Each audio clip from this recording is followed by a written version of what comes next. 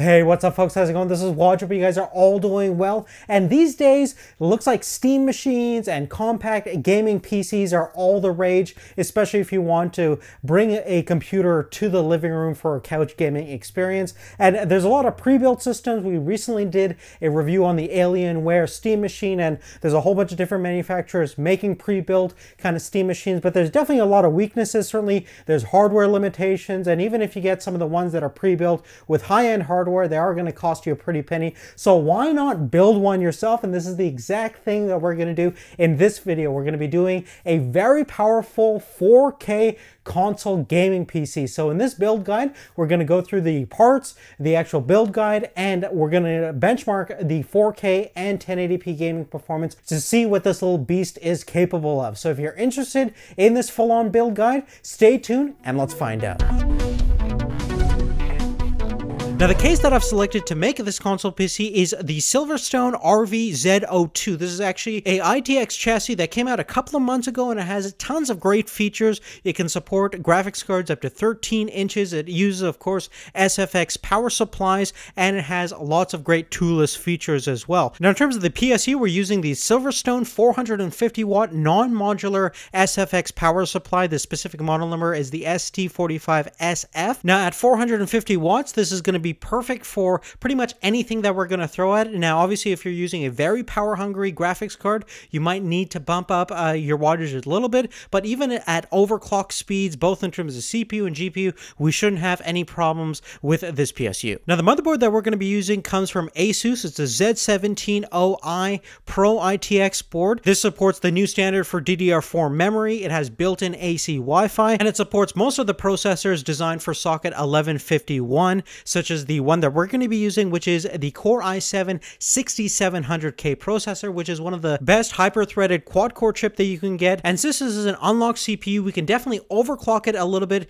to get a little bit more gaming performance, especially ones that utilize multi-threaded capabilities. Now, the cooler that we're going to be using is from Xigmatek, but you can use any kind of cooler that you like. Basically, you want to make sure that your cooler is below 65 millimeters in order to, to fit properly into this chassis. Now, in terms of RAM, we're using 16 16 gigabytes of memory from uh, Crucial. And for storage, we're going to be using two SSDs from Corsair, the FX LX series, 250 gigabytes each. I had these things uh, lying around and they're actually covered in this cool looking carbon fiber wrap. If you're interested in actually vinyl wrapping some of your equipment, such as your PC case, we have a video on that in the description down below. And lastly, in terms of our graphics card, we're going to be using the Gigabyte G1 GTX 970. This is an excellent graphics card, especially if you want to dominate in a 1080p and Quad HD settings. And of course, it's pretty capable when it comes to 4K resolution as well, especially if you dial down some of those detail settings on your games. So without any further ado, let's actually get into the build guide. Now, the tools and equipment that you're going to need to make everything possible is pretty straightforward. Phillips head screwdriver and some thermal paste because the cooler does not come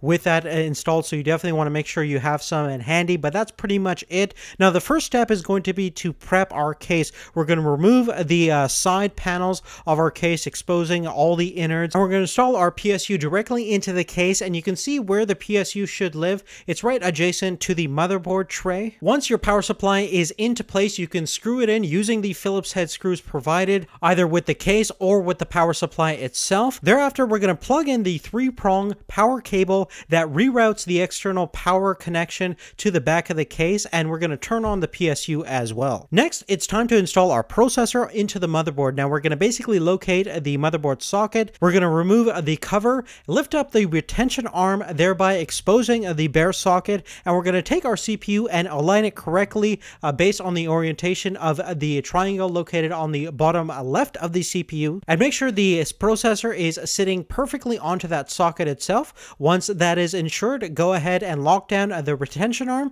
and you're pretty much done installing the CPU. Next, we're going to take each of our RAM modules and lower it directly into the socket itself. Again, Everything should align perfectly based on the proper orientation, and we're going to occupy both slots since we only have two slots on this motherboard. Thereafter, we can take the motherboard backplate and install it directly onto the back of the case, and once that is properly inserted, you can now lower down the motherboard directly into the motherboard uh, tray area of your case, and everything should align uh, based on the four different screws, and you can go ahead and screw everything into place, and again, those screws should be provided with the case. Once everything everything is secure, you're now uh, ready to install the front panel header connectors directly into the motherboard and refer to your motherboard manual for the exact placements for each of your front panel header connections. And once you have your power switch, restart switch, hard drive, activity light, power light all installed, you're now ready to uh, basically plug in the header connection for your headphone jack as well as your USB 3.0. And while we're still in the mood for plugging stuff in, we're going to plug in our 24 pin main motherboard uh, power connection as well as the 8 pin power for our CPU. Okay, so now it's time to install our CPU cooler. Firstly, you want to prep and install the Intel bracket uh, directly onto the back of the cooler itself. You want to then remove the uh, plastic uh, film that's uh, on the surface of the cooler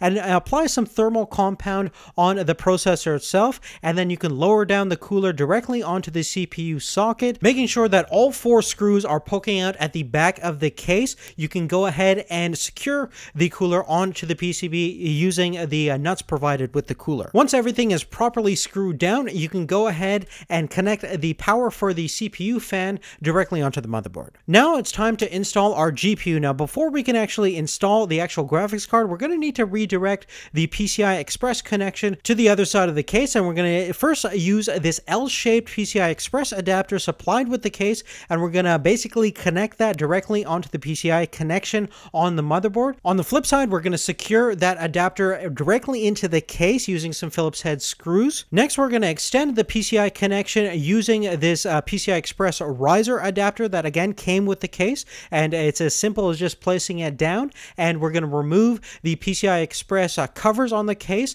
and now we're finally ready to install our GPU directly onto that PCI Express connector and once you have made even contact you can secure the GPU directly into place. After that we can simply connect the power connectors from the PSU to our graphics card and last but not least our final step is to take both of our SSDs insert them directly into the drive cradles of the case and connect all the necessary cables such as your data connection from your motherboard via the SATA cables and your power connections. And after that, congratulations, you're pretty much done. You have now completed this ultimate gaming PC console. Now, the way that I configure this machine is I put both SSDs in RAID 0 configuration for maximum uh, performance. I've installed Windows 10 as our primary operating system, and I've also configured this machine to boot directly into big picture mode at initial boot up. So basically, when you turn this thing on, it's going to boot directly into big picture mode, uh, much like any kind of Steam machine would. But of course, over here, we can actually play all those games since it's running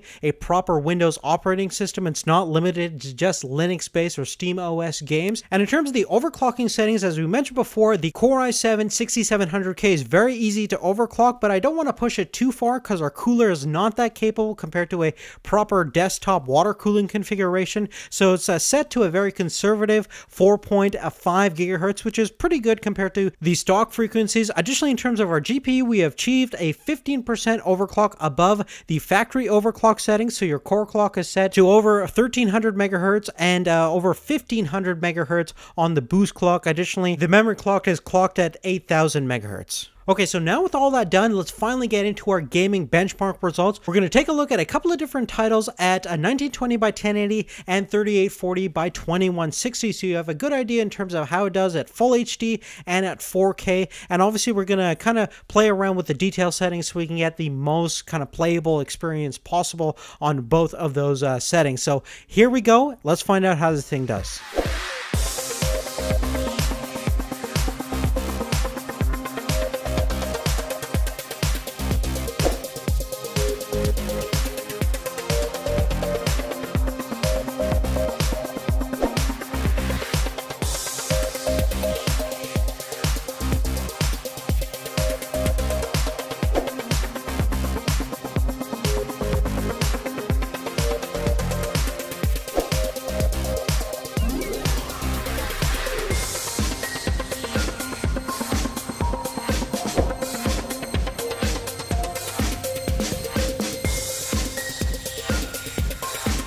But on that, guys, that's really it. Thank you so much for watching. If you like this video, definitely give us a thumbs up and check out the description down below for all the parts that we use uh, to make this little compact gaming PC for the living room. If you go through any of our Amazon links when getting anything, it gives a, a little bit of kickback. Doesn't cost you anything extra, but importantly, it makes videos like this possible in the first place. We really thank everyone that goes through our links on a regular basis and bookmarks them. It again uh, supports us greatly and um, motivates us to make more videos like this. So thank you again for watching. Thanks for your support. We'll see you later. Take care.